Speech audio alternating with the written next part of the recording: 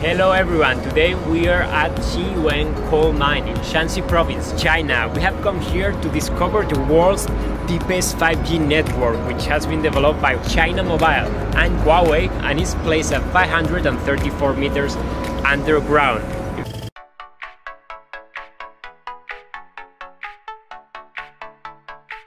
Okay, so now we're all dressed up and safe to go to the mine.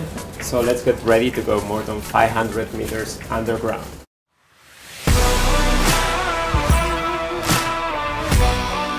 I'm finally inside the van with all my fellow miners and we have started our trip to the center of the earth.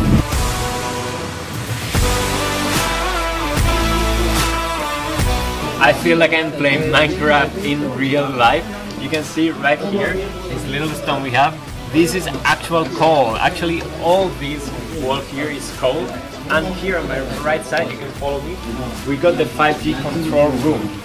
From this room you can see the workers who are operating all the machinery totally remotely. You can directly on the screens and they can check the status of all the machines inside.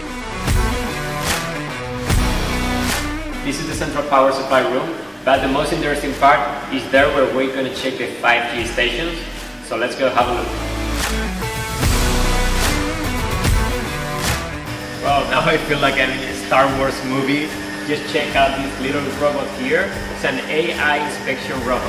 It's making sure that everything in this room is working properly and if there's any problem it will detect it so they can fix it immediately. This is the 5G base station. There are 147 of these base stations through all the mine to provide fast connectivity to make all this coal mine work.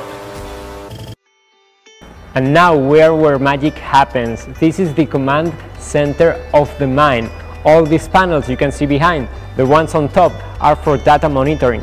The ones on the bottom, they are real-time video return from the mine, which is in 4K HD, only possible thanks to 5G technology.